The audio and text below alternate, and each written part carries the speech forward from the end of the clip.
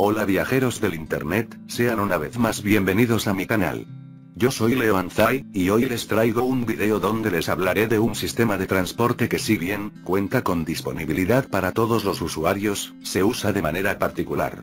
Así que quédense porque esto es... Todo sobre Ecobici de CDMX. Antes de comenzar con este video, los quiero invitar al canal SNTVTC. Vialidad, Transporte y Cultura en México, donde colaboraré en un especial con 10 curiosidades de Ecobici.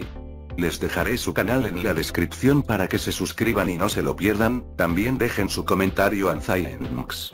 Ahora sí, comencemos.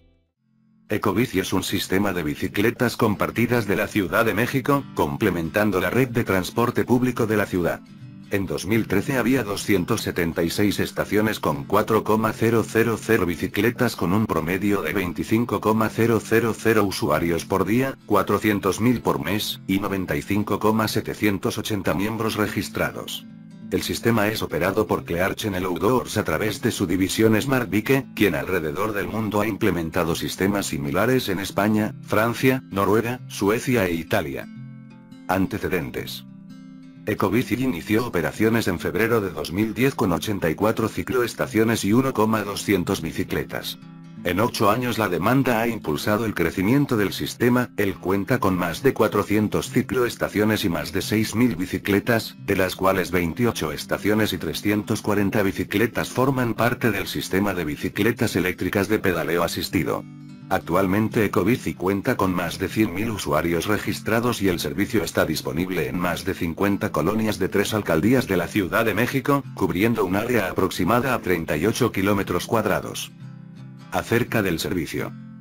La ciclovía recreativa de la Ciudad de México, fue lanzada en el 2007 por la Secretaria del Medio Ambiente precisamente con el espíritu de promover una movilidad distinta. El programa fue concebido desde un inicio como proyecto pionero de la estrategia de movilidad en bicicleta de esta ciudad, que daría inicio cuatro años más tarde al primer sistema de bicicletas públicas de América Latina, Ecobici. El 16 de febrero de 2010 se puso en marcha la primera fase en la cual da servicio a las colonias Cuauhtémoc, Juárez, Roma Norte, Hipódromo Condesa y Condesa, a través de 85 cicloestaciones con 1,114 bicicletas. Las 85 cicloestaciones se encuentran distribuidas con una distancia máxima de 300 metros entre una y otra, y localizadas en puntos estratégicos. El 29 de octubre de 2011, se ampliaron los alcances del programa con una segunda fase que comprende el centro histórico de la Ciudad de México, donde se sumaron 5 cicloestaciones más y 12 se reubicaron sumando un total de 90. Una tercera ampliación del servicio se cumplió 2011, que abarcó las zonas de Polanco y otras.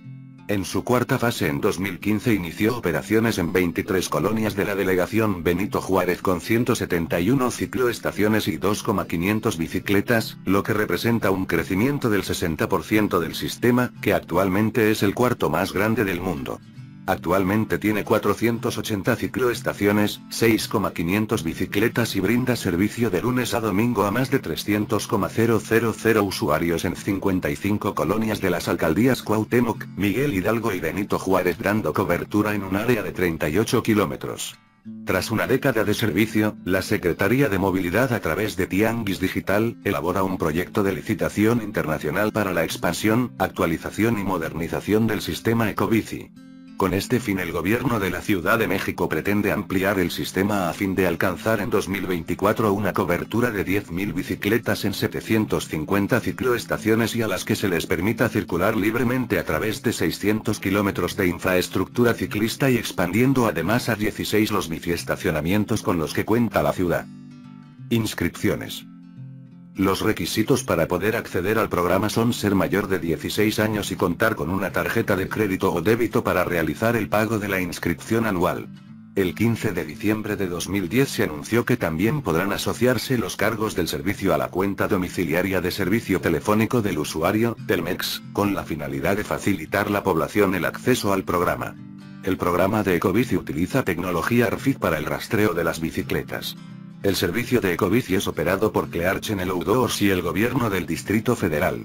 Si el sistema no registra de forma adecuada la devolución existen cargos de hasta 5.000 dólares MXN, cargados de forma automática, lo cual ha tenido como consecuencia críticas y denuncias por parte de los usuarios. Pero esto es siempre y cuando no avise sobre posibles eventos, accidentes, robo de bicicleta, avería, etc. Estaciones. Centro histórico de la Ciudad de México. Parte de la Colonia Guerrero. Colonia Tabacalera. Colonia San Rafael. Colonia Cuauhtémoc. Colonia Juárez incluyendo la zona rosa. Zona poniente de la Colonia Doctores. Colonia Roma Norte y Colonia Roma Sur. Condesa. Colonia San Miguel Chapultepec. Colonia Escandón. Anzures. Delegación Benito Juárez. Ampliación Granada. Buena Vista. Centro. Acacias. Actipan. Ampliación Nápoles. Ciudad de los Deportes. Colonia del Valle Centro. Colonia del Valle Norte. Colonia del Valle Sur. Extremadura Insurgentes. General Pedro María Anaya. Insurgentes Mexcoac. Insurgentes San Borja. Colonia Letrán Valle. Colonia Nápoles. Colonia Narvarte Poniente. Colonia Nochebuena. Colonia Portales Norte. Colonia Residencial Emperadores. Colonia Santa Cruz Atoyac. Colonia Santa María Nonoalco. Colonia San Pedro de los Pinos. Colonia Tlacoquemecado. Colonia Choco. Polanco. Impacto social. Reconocimientos. El 4 de octubre de 2012, el Centro de Transporte Sustentable, CTS, en Barg, México otorgó a Ecobici el reconocimiento al primer lugar en el concurso Movilidad Amable. Usuarios fallecidos. El 15 de noviembre de 2014 Gerardo Pedroza fue atropellado por un autobús del transporte público en el cruce de las avenidas Lieja y Chapultepec. El 17 de enero de 2015 un automovilista estacionado en el cruce de las calles Horacio y Platón en Polanco abrió la portezuela de su auto, empujando a Luis Manuel Villa Cárdenas, quien usaba una bicicleta, hacia un tráiler que circulaba por la calle. El 17 de noviembre de 2015 un autobús del transporte público de la empresa Corredor de Transporte Público concesionado Corredor Revolución atropelló en la ciclovía de Paseo de la Reforma Montserrat Paredes, de 21 años, provocando su muerte. Cámaras del programa Ciudad Segura registraron el hecho, demostrando que la usuaria de la bicicleta 4212 del sistema circulaba dentro de los márgenes de la ciclovía. El chofer responsable del autobús, Miguel Ángel Márquez Zamora, escapó, y fue aprehendido al día siguiente. En septiembre de 2016 la jueza Belén Bolaños Cayetano determinó que el Ministerio Público, Fiscalía, no había presentado pruebas contundentes que inculparan al chofer. Abogados de la víctima señalaron que la modalidad de juicio oral incidió en la sentencia que absolvió a Márquez Zamora. La sentencia absolutoria fue apelada por la Procuraduría General de Justicia de la Ciudad de México. Y bueno amigos, eso ha sido todo por el video de esta ocasión, si les gustó los invito a que dejen su like y se suscriban. También los invito a seguirnos en Facebook y que no se pierdan los especiales dedicados al trolebús, Mexibus, Metro y Metrobús. Yo soy Leo Anzai, hasta la próxima.